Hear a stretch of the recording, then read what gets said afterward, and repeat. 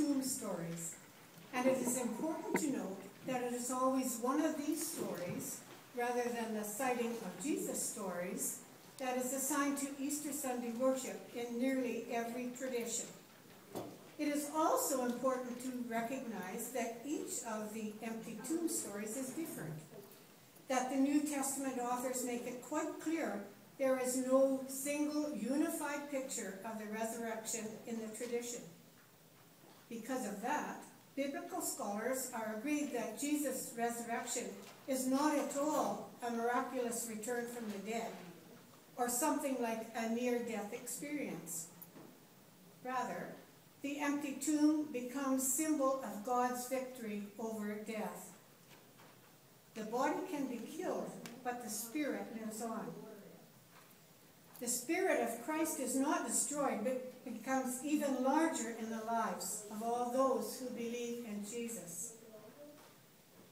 Hear now one of these empty tomb stories, reading from Luke 24, verses 1 to 12. But on the first day of the week, at early dawn, they came to the tomb, taking the spices they had prepared.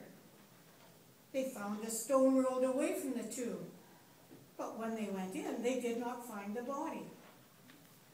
While they were perplexed about this, suddenly two men in dazzling clothes stood beside them.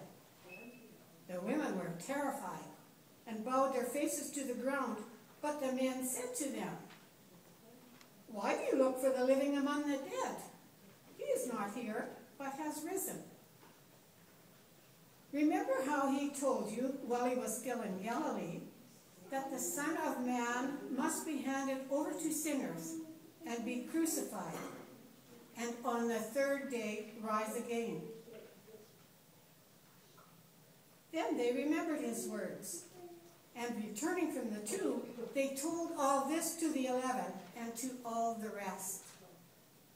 Now it was Mary Magdalene, Joanna, Mary the mother of James, and the other women with them who told this to the apostles.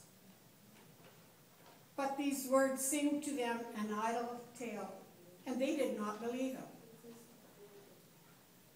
But Peter got up and he ran to the tomb. Stooping and looking in, he saw the linen cloths by themselves. Then he went home amazed at what had happened. Hear what the Spirit is saying to the church. Thanks be to God.